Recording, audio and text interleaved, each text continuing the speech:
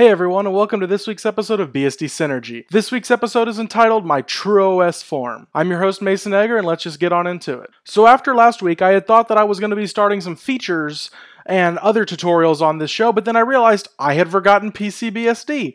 And it's since it's not really a main flavor, it kind of doesn't count, but it is extremely important and important enough for me to dedicate a whole episode for it. So, PCBSD was first presented in 2005 by its founder, Kris Moore. For those of you who watch BSD now, Kris Moore is one of the hosts. They first released their beta on April 15th of 2005, and in April 2006 they released version 1.0, um, which was a little bit confusing at first because it was based directly off of the numbering system of FreeBSD.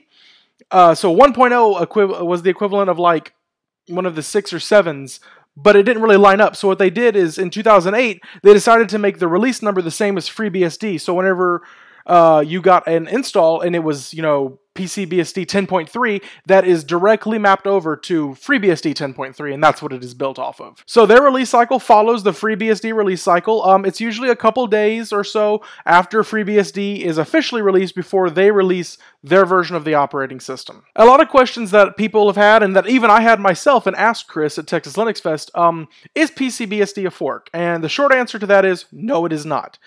Um, it is meant to be a bleeding edge desktop version and also server version of FreeBSD. My analogy for this is PCBSD is to FreeBSD as Fedora is to RHEL.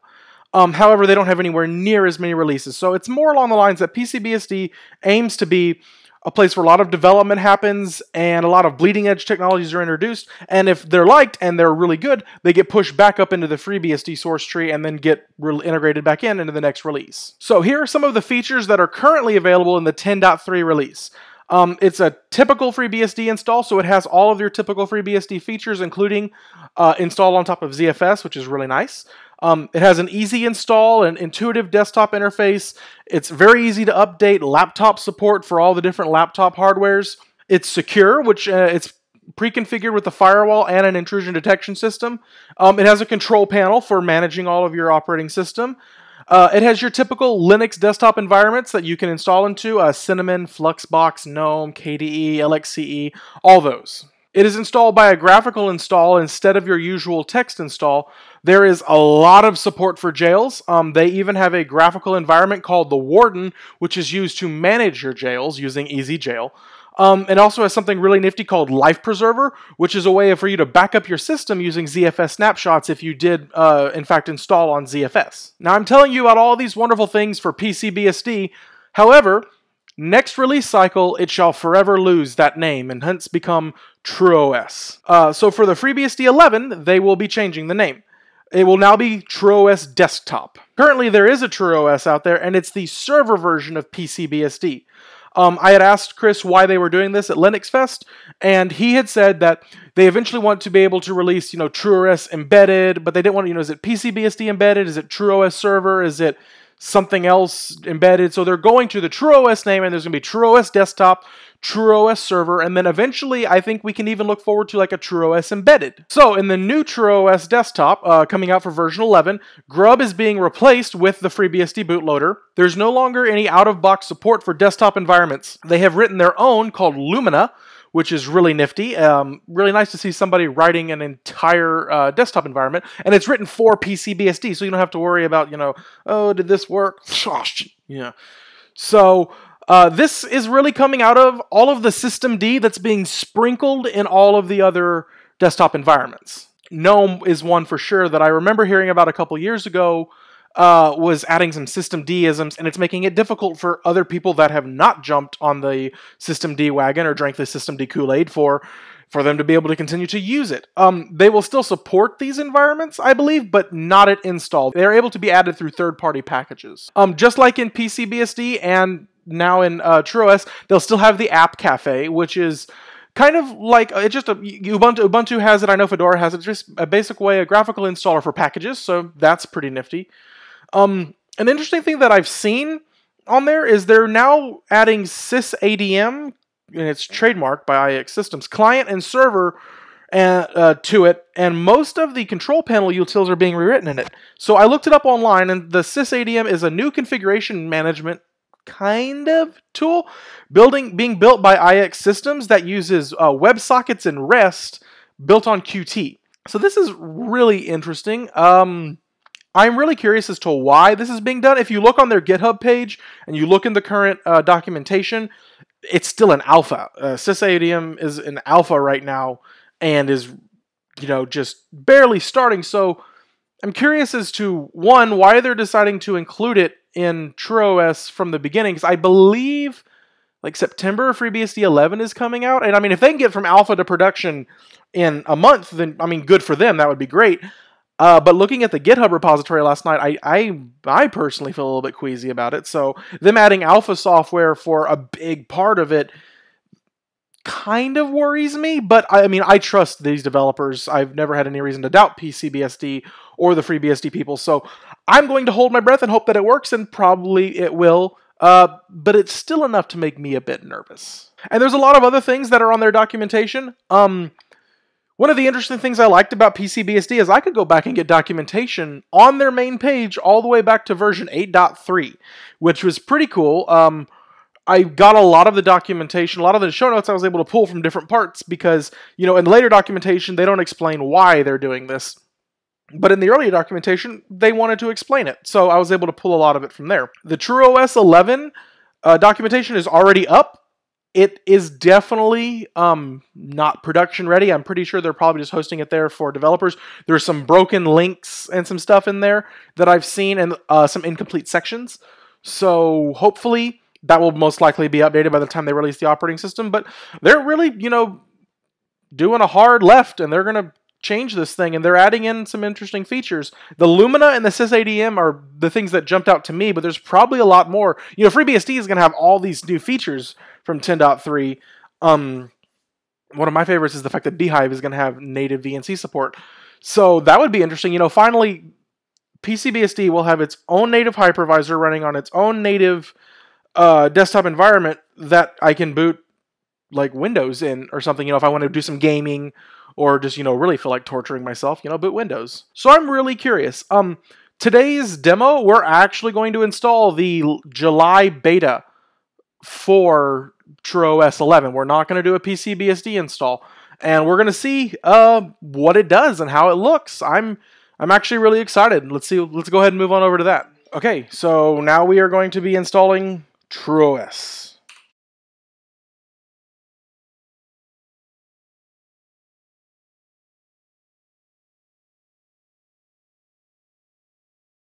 Okay, so we can actually start the graphical install. So it starts off as a text install, but we can start off the graphics install with a auto-detected video or the VESA SCFB, I don't even know what that is. Or we actually can install it via uh, text install, so that's pretty nifty. So let's go ahead and do this and start up the... Okay, that was odd there for a second. It was telling me that it couldn't find any screens, but then it found the screen. Okay, so let's go ahead and move on. Oh, looky, my mouse. Wee.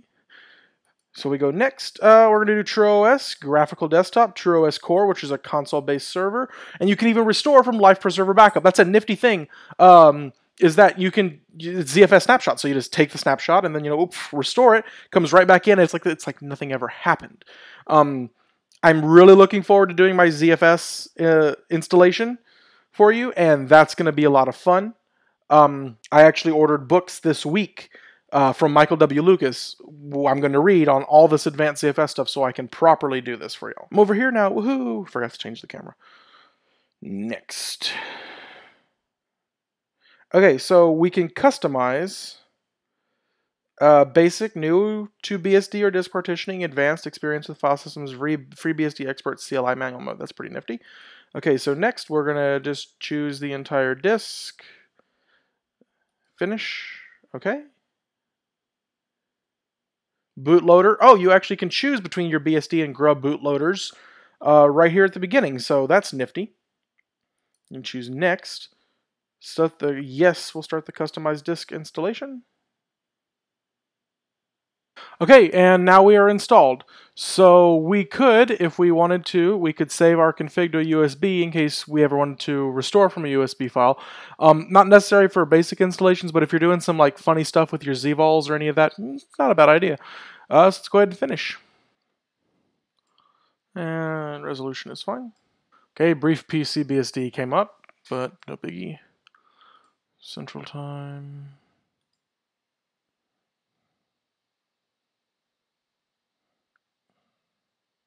No, not Mexican Central Time. It either does not like my Mac mouse or that's a bug. There. TrueOS, we call this BSD Synergy.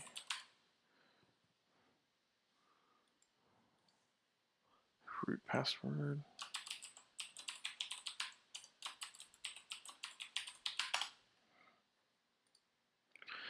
Okay, so you can use PersonaCrypt on this, so you can set that up at beginning, but let's go ahead and create a user.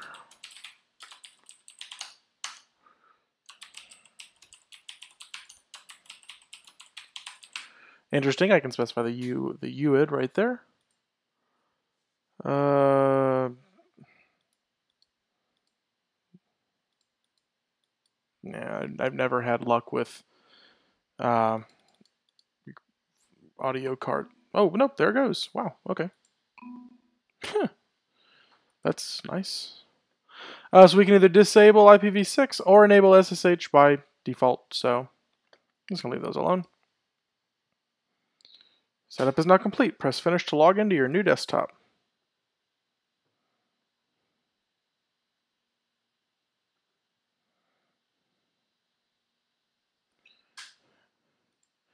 And see that oh, it still has Fluxbox for some reason. But you would usually choose your desktop environment there. Mm -hmm.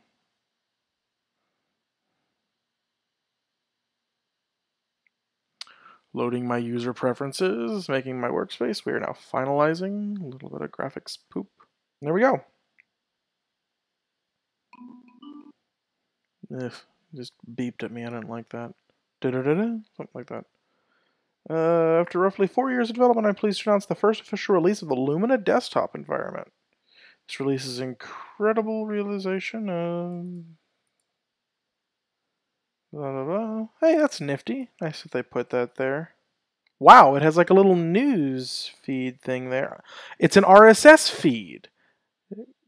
Oh, one second. Um, so, let me move myself. No, not you. If I move myself over here, you can see what I was referring to down here. There's a built-in RSS feed right here. And it's got FreeBSD Newsflash. Oh look, RC1 is available as of,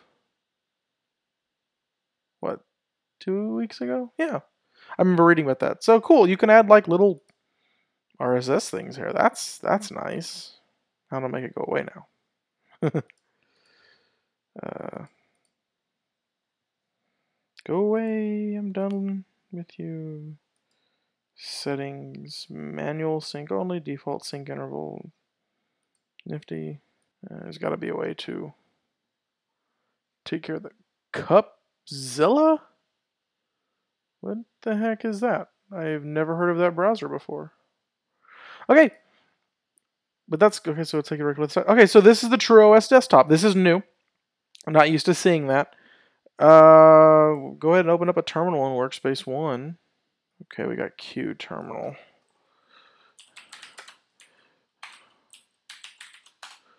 Okay, and we're back to CSH as our default shell.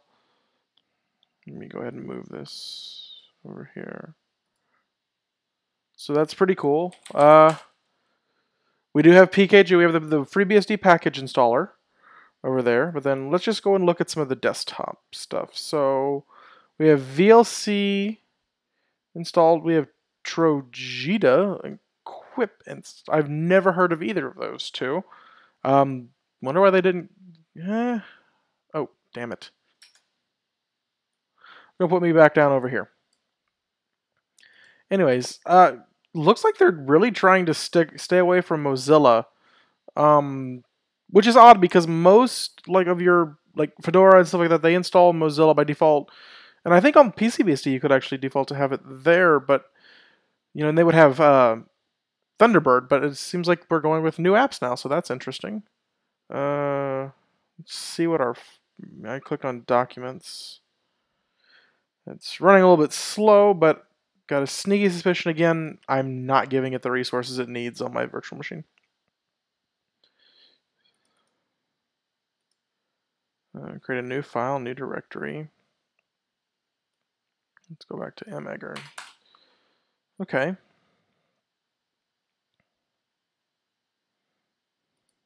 That's nifty. Uh, control panel. Little black hard drive. Okay, local system, application management, sysadm server settings. Manage SSL keys. System management, boot environment, utilities, life preserver.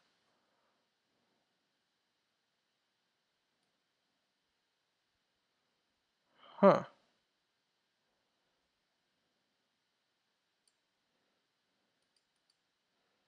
So set up scrub zpool in the tank frequency at this time. So this is how you set up backups. I, odd that the zpool isn't set up properly. I think I don't know. I'm, I've actually never used the life preserver. Um, replication snapshots. Let's create a snapshot. New snap. GUI snapshot. Those are all my zvols.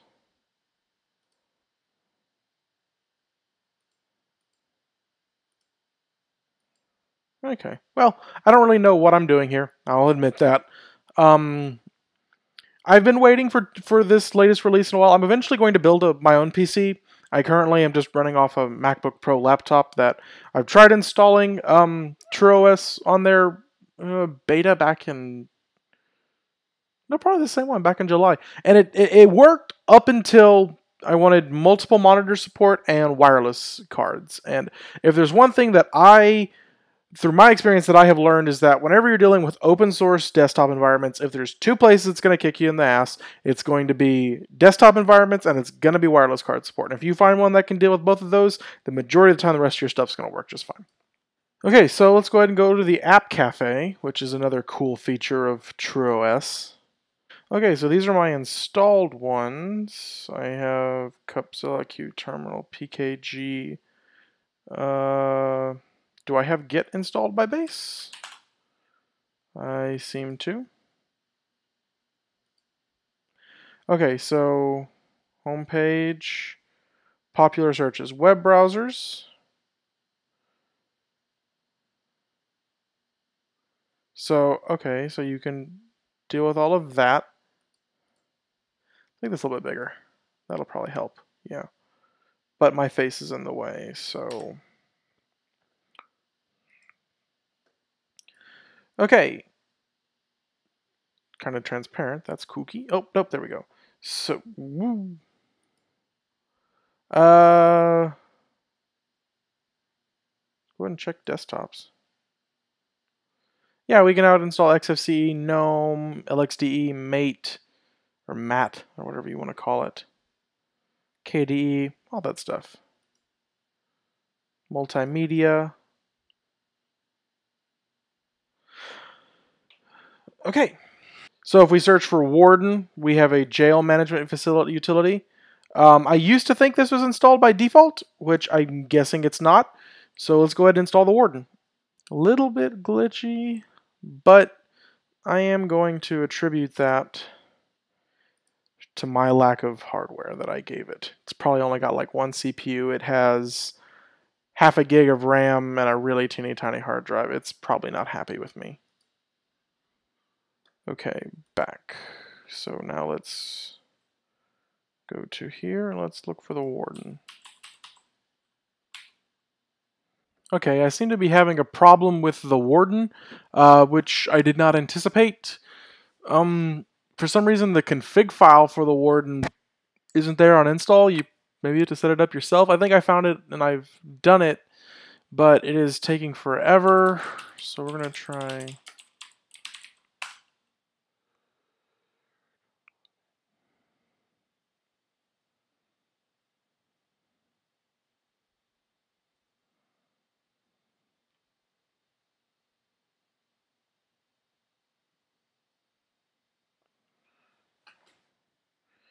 Okay, it is setting up stuff. Okay, well I did put the 10.3 release in here. Probably not the best idea because this is an 11.0. Um, odd that this doesn't work out of box. I was reading some stuff online about IOCage, and iXsystems has been has recontracted somebody to write it in Go, which I want to read up on because yeah, let's let's use a let's use a proprietary language from Google. That's a that's a great idea for it's a great idea for building a system.